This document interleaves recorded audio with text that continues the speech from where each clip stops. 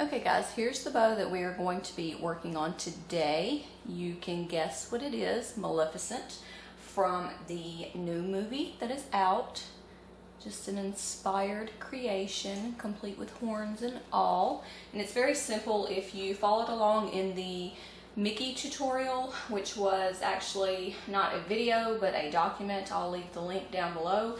It's the same exact concept, except we're going to add the horns and the Maleficent um, bottle cap. Also, this is going to be a free download. I'll leave the link down below. But this is the one that we're going to be working on today.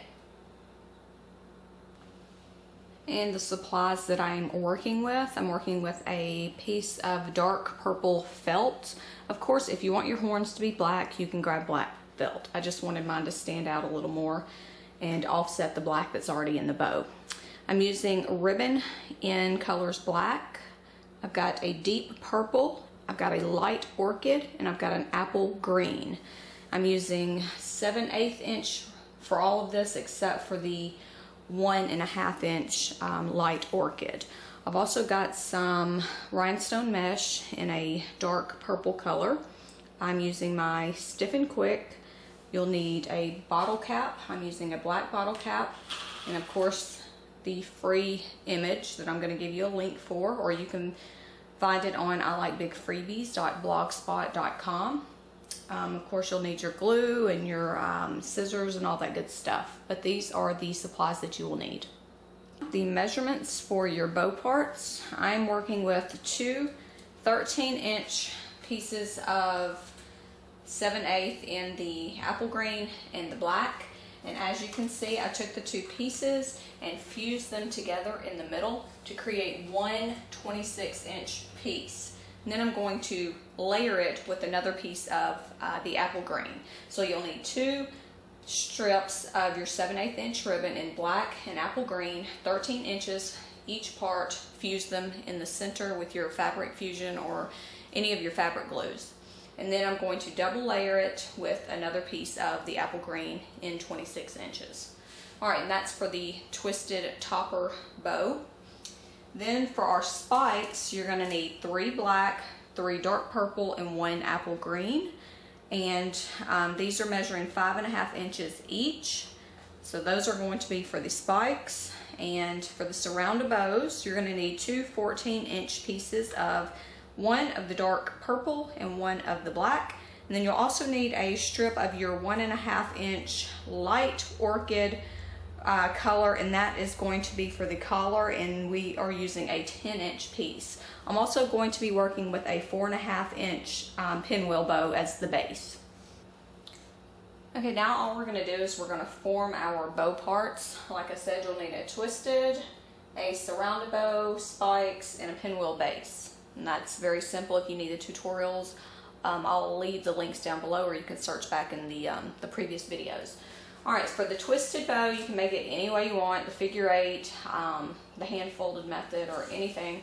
But you want to make sure that you put your ribbon that we fused together on the top, and then on the bottom is that other um, apple green ribbon. We're just going to layer them together so we see that apple green on the inside. Also, when you're folding, you need to make sure your black is going to be on the top and your apple green is going to be on the bottom. So I'll start with my apple green first. I'm just going to do hand folded method, whatever works for you.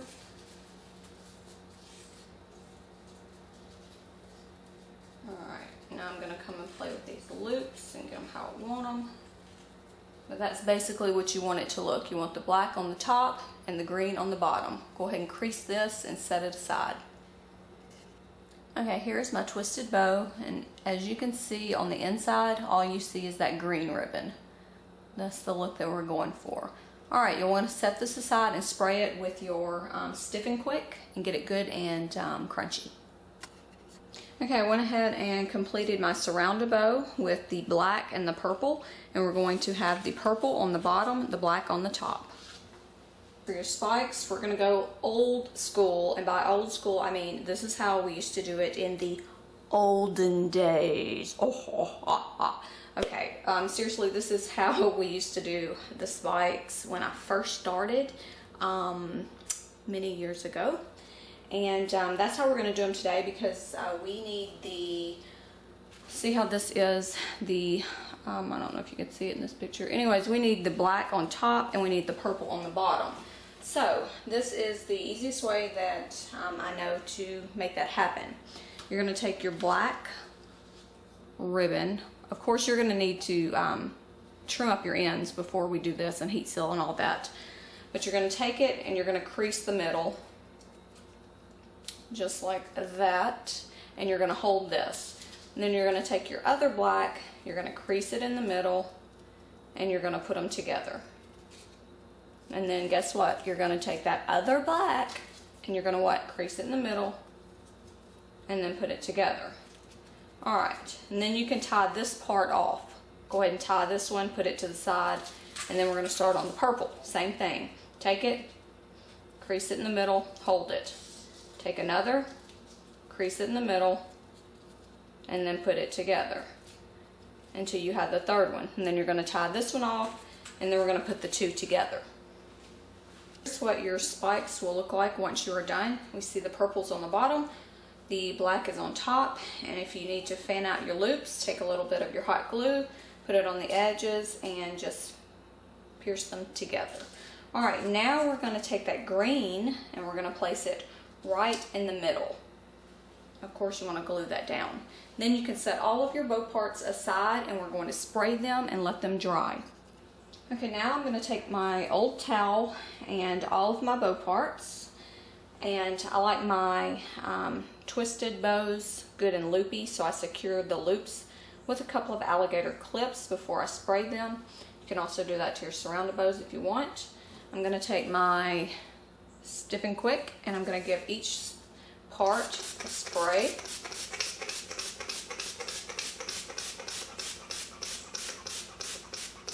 Alright, now you can take a break while these dry.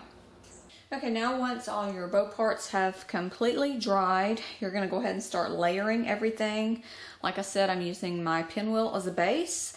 I'm gonna put my spikes on top of the pinwheel and then the surround bow and the twisted boutique bow.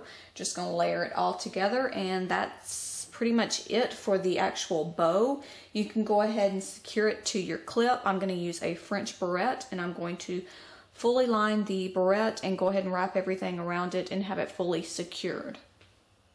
Here's my clip that I went ahead and wrapped with 3 8 inch black ribbon. Now I'm just going to start layering and gluing and attaching everything to my clip.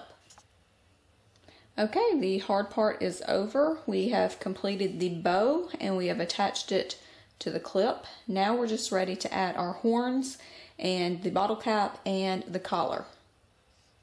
Okay, for the horns, I used a template and I'm going to leave a link down below so you can download the template.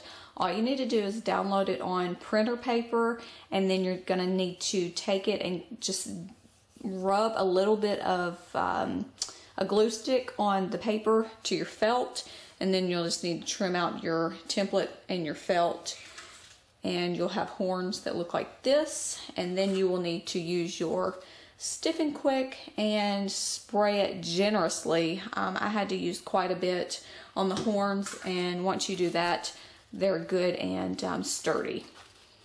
But you can also buy the felt in the craft store that's a little bit uh, thicker and if you have that that's great. You won't have to spray these Stiffen Quick.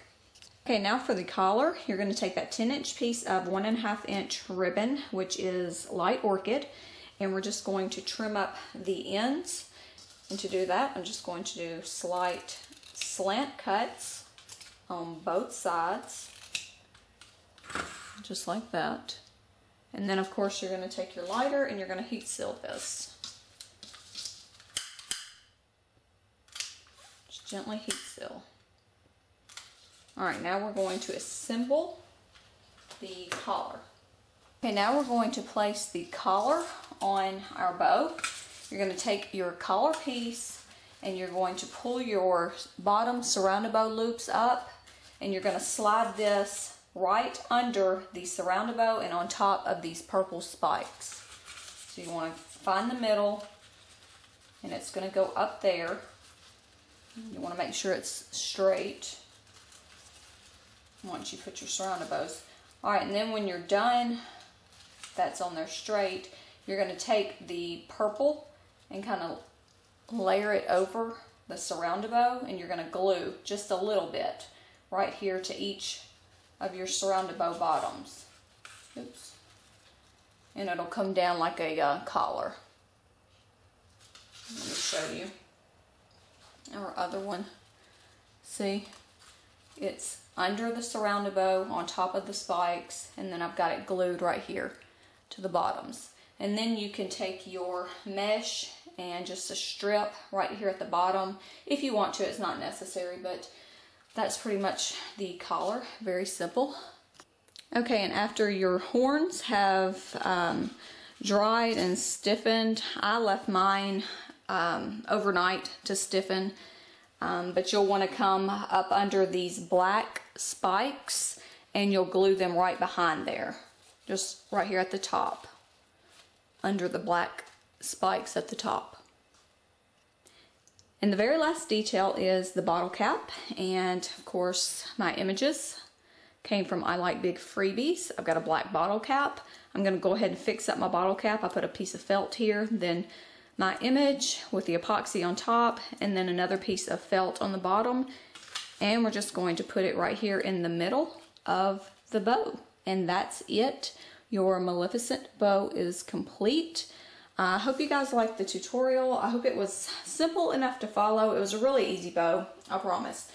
Um, if you decide to do a bow like this, be sure to post pictures on the Facebook page and I will give you a little shout out if I see your picture come across. Um, but yeah, it's a great bow to wear if you're going to the movie to see Maleficent.